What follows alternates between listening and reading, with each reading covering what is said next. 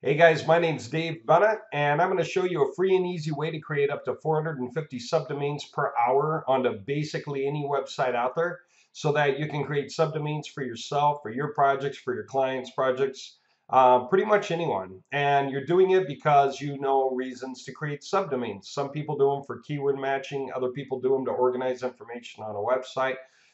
Google likes subdomains, it likes the organization of information on a website. So without further ado, let me just show you an easy way to do this automatically.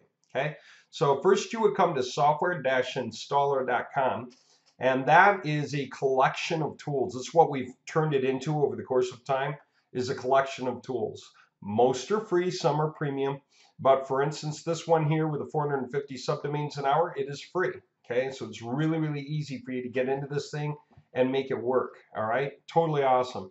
So when you go there, uh, then you're gonna um, click here for registering. Okay, this is top link here is to register. The bottom one is if you come back and you're trying to see where to log into the free version, you would click there to log in. Okay, so when you register, okay, it's going to bring you to this page where you register. So you just enter a first and last name, an email for delivery, and a coupon code. Somebody probably gave you a coupon code, which is probably how you found your way here. Uh, and if nobody did, if you find your way here some other way and you don't have a coupon code, costs five bucks to get one. Just get one here. Okay. You can pay with a credit card or PayPal, and then you'll have a coupon code. And since the tool is really saving you a tremendous amount of time and effort, it's worth five bucks. Certainly, if you can do 10 hours worth of work in a single hour and you won't make mistakes because it's not like doing it manually, it's worth it. So, anyway, Whatever way you do it, go ahead and get in, and then you can use this information here. It's telling you how to log in. Okay, go to free.software-installer.com and change your pass after you log in. Okay, so you're going to go and you're going to actually fill in the login stuff at free.software-installer.com. The rest of this just happens automatically on the URL. Just go there and log in. Okay, and that'll bring you into, into the system where you can start to add your websites. Okay, so I went to my website list. Now, what am I going to add? I'm going to add a cPanel. So what does that mean? Let me step back long enough for you to see the rest of this process so that we can go through it correctly. So I've got a website called moji-samples.com and it's just a demo site. I put stuff up here so I can show people how things work. So right now I have three websites up here on subdomains, okay? So who knows why? I'm doing them maybe for show. Maybe I'm running them to uh, a company. You know, whatever reason I want. Somebody else I can teach them to go get their own domain name and forward it to here and mask it, right? So it looks like their domain name, even if it's hosted here. So you can host different websites for different clients in one spot. You know, you can charge them to maintain the site, improve upon the site, whatever it is. You know, so I got a jewelry site, a painting, house painting site, and a spa site. They're all different. They all do different things. Okay. So anyway, here's the point. As long as I can go here, website, you know, dot .com, dot .net, dot .org, whatever, slash cPanel, right? cPanel. And that brings me to a page like this with the cPanel and I can log in. All I need to know is the domain name, the username, and the password okay? And I can add those in, whoops, to here. I'm going to add the new host. It's a cPanel, not a whole server, just a cPanel. And it is moji-samples.com. And let's see. And the password. Okay, that's right. All right, I added it. Can I add more? Yeah. Can I batch upload hundreds? Yes, okay, you're putting them in your system. You're the only one who sees them and has access to them. Anyone else who logs in logs into their own area. So like I said, when you get the here, change the password, okay? And that way, just you know it. You can log in and you can put stuff up and then you can delete them when you're done with them if you want. If you need your privacy, just keep your list because it takes seconds to batch upload all of the ones you want and then just seconds to delete them all. You know, you can delete them all, whatever. Okay, so this doesn't do anything permanent on your website. It just allows you to make changes to your website remotely. Okay, in a very easy way. All right, so now that I added it, I can do all kinds of things with it. I can install stuff, manage subdomains, deal with databases. um, create portable panels. I can minify um, HTML files and CSS and JS. I can minify images. I can use an images optimizer. It's a separate thing I'll discuss in a different video. There's a lot of stuff you can do with these websites for free, okay? That's why it's worth it. So let's do our bit right now. We are going to basically do this, okay? This is the part where you might want to start taking notes. We're going to install, okay? And what are we going to do? We're going to basically batch install a simple little file which allows us the right to create the subdomains. Okay, so we've got to create some kind of a simple little file that we can put in the system, and it'll allow us to create the subdomains. Because if it's going to create the subdomain, it's got to put a file in there and extract it. Okay, because it's just how it's built, but it's very easy. Okay, so we are going to first create our little dummy file. It's basically a dummy file and stick it in our file repository so we can keep files that we want to install on our websites here, right? And then we're going to use that dummy file, which it's basically going to be a text file that just says, yep, a subdomain exists here. Congratulations, you made it work. All right. So let's just create that dummy file right now. I'm going to pull this thing to the side. I'm going to create that file. It's going to be a text file. Just going to call it uh, subs. Okay. And inside it's going to say this subdomain exists. Okay. And that's awesome. So it's just a way of letting me know it's there. Now I'm going to zip it up because everything we install is zip files and SQL files. Okay, so there it is. That's the one. So now in here, what am I going to do? I'm going to choose it, right? I'm going to put it in my repository. So I'm going to just stick it there. I can see it, and I'm going to upload it. There, it's right here, okay? Now, what can I do? I can install it with batch installation because we're going to create a lot of subdomains. Okay. So what we have to do is paste the information we need in here. So I got to create that information. Here's how I'm going to do it. I'm going to download a sample. Okay. And it'll give me a sample. I'm going to open it up. Okay. This is going to be real simple. We're actually much of the way done with this, and I'll show you the proof of it pretty soon and how you delete those subdomains too before we leave so you just know how to do it. Okay, this is kind of cool. There's a lot of stuff you can do with this. Most of it for free. Enable editing. Actually, you can do all of this for free. So what we really need is just this.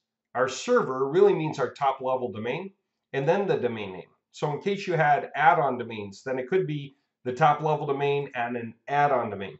In my case, they happen to be the same thing, moji-samples.com. All right, so I'm going to just click and drag it. Whoops, grab that little box in the corner and drag it over there. Now they're both highlighted, so grab the box and drag it down for however many I want to do. Okay. What are we going to do? We're going to put subdomains here. So we're going to have our subdomain one, subdomain two. So I need this column.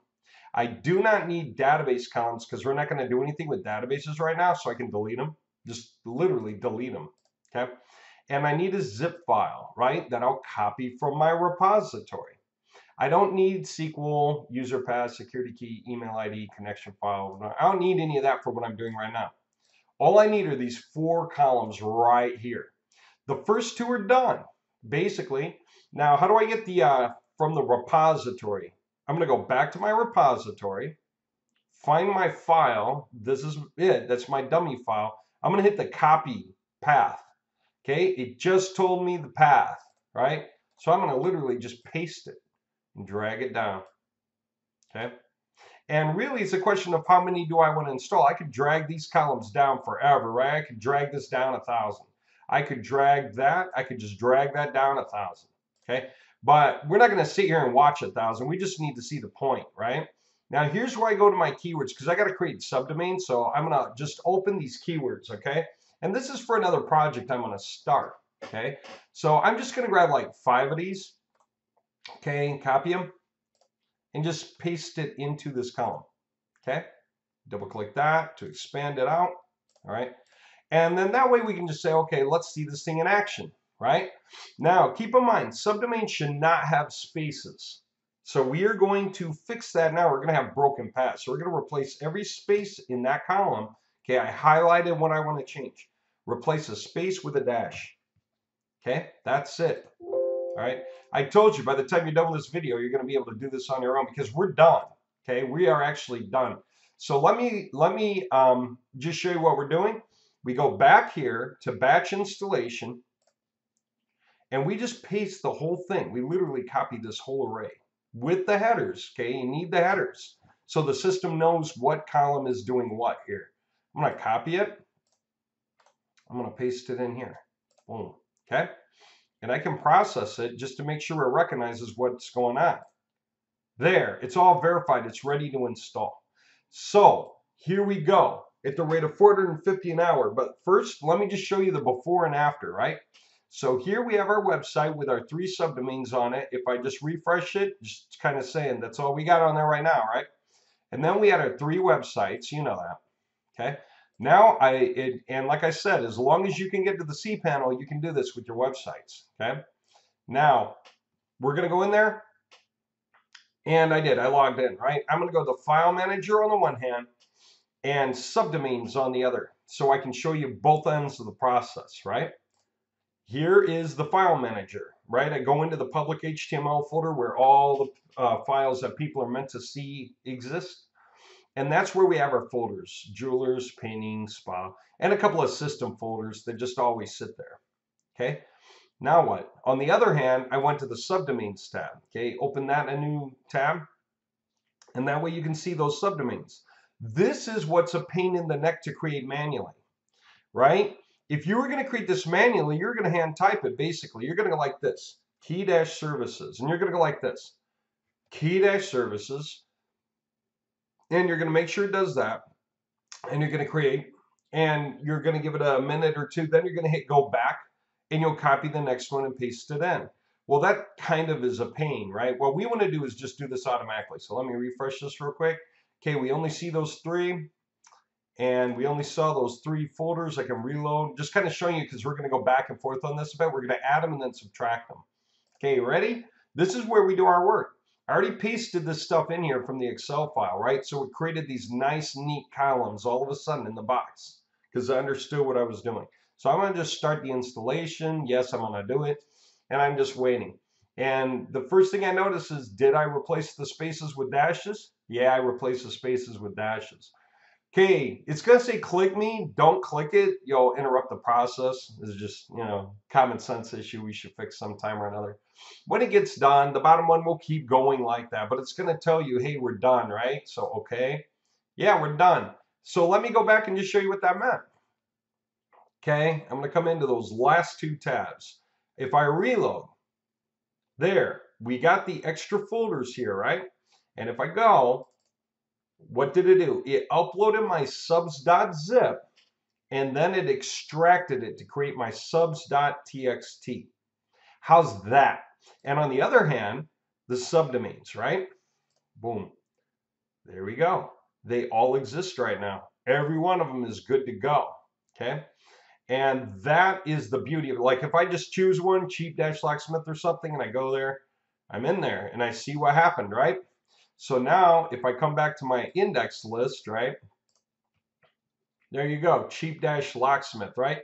So just for the fun of it, let me do that, right? Cheap dash locksmith dot moji dash samples dot com, right?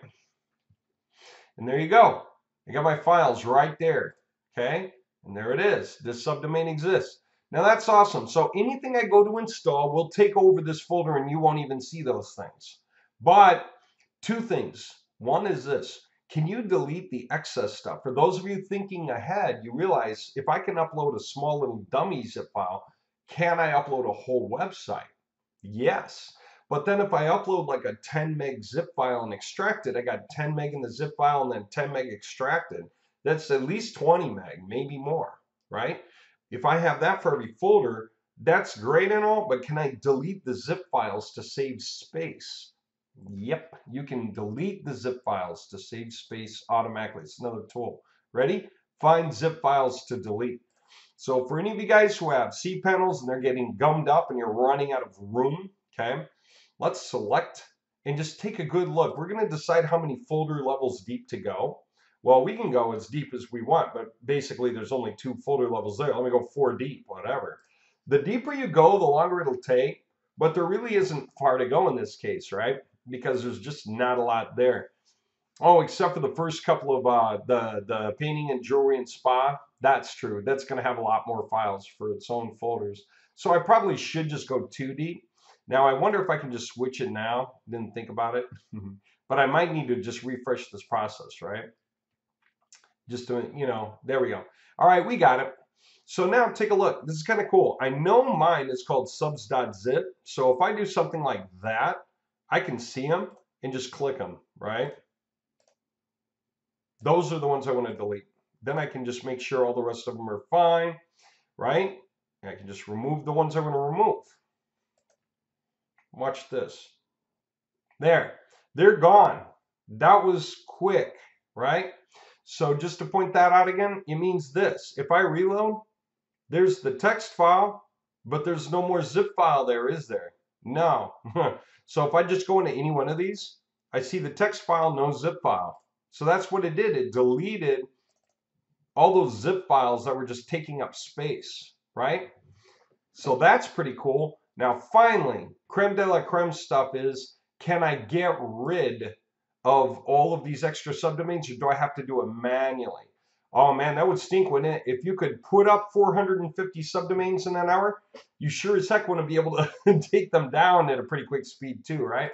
So let's just come back, whoops, to our login here, and let's go to manage subdomains, okay? I'm gonna select my website, whichever one from the list, and here you go. I basically want to get rid of all of them except for the ones that I'm keeping right now, right? Like jewelers, painting, and spa. Okay. Now when I delete them, yeah, I want to delete the files.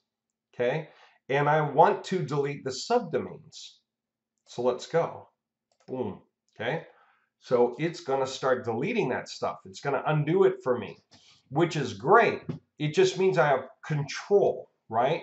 I have control over what I put up and what I take down. Okay. And there you go. It's back to that. So let's take a look again. If we go back to our list of subdomains and refresh the page, they're gone. If we go to here and reload, we're still going to have our folders, but if we look now, they're totally empty. So then you go, what if you want to get rid of the folders too? Well, here's an easy way to think about it. I just did this batch of work all at once. So they all have the same date timestamp over here, don't they? Let me, uh, let me do this. Flip it. All right. Now I got them at the top, don't I? Pretty much everything at 210 happened all at the same time. So that's from here up. Now just one quick glance, and I know that's what I want to get rid of. There's five folders here. I want to get rid of them, right? So I'm just going to delete them. Boom. I don't need to keep them in the trash can anymore, although I could just in case I need to pull them back out, right? Like if I make a mistake, I can put it back. Let me leave it in the trash for a minute so I can show you how to do that, just in case you've never done it. Okay, there you go. I can reload and everything's fine.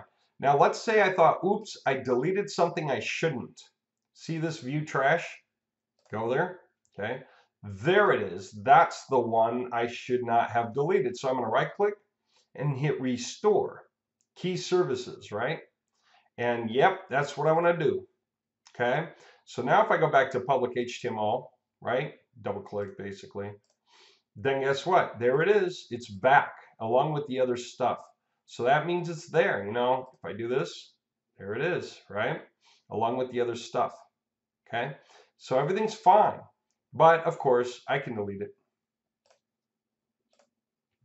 Whether I skip the trash or not. and I may as well just permanently delete it from the trash just out of habit, right? Okay.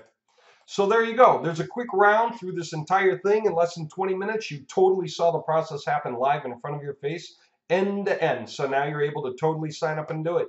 Just go to software-installer.com and hit the register link to get started. You'll get access to those tools and more for free. We hope you like them. All right, that's our way of saying thanks to everyone who's helped us get as far as we've gotten. And we have a lot more things you might be interested in because we really do a lot. All right, thank you very much for your time. Hope you find that interesting. There you go.